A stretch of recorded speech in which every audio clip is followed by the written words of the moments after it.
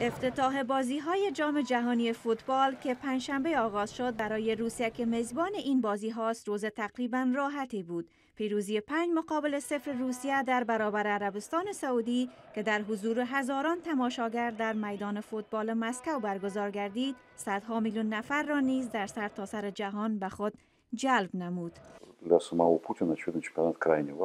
برای پوتین جام جهانی بسیار مهم است. هدف او این است که نه تنها چهره دوستانه از خود به نمایش بگذارد بلکه تصویر کنونی روسیه را نیز معتدل سازد.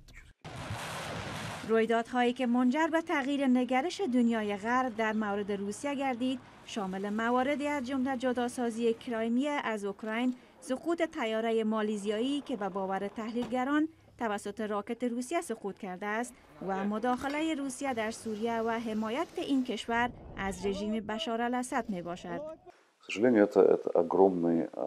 برای تماشاچیان فوتبال مسائل سیاسی در درجه دوم قرار می گیرد اما برای کشورهای غربی شرکت کننده در این مسابقات این موضوع مشکل ساز است آیا روسیه از جام جهانی برای عیب پوشی سابقه روسیه در صحنه جهانی استفاده می نماید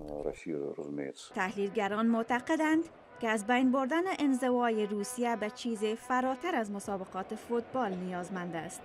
و عقیده فوکسال در کنار استفاده از قدرت نرم مسابقات جام جهانی و المپیک سوچی پوتین توانسته است محبوبیت خیش را توسط کمپاین های نظامی در اوکراین و سوریه حفظ نماید.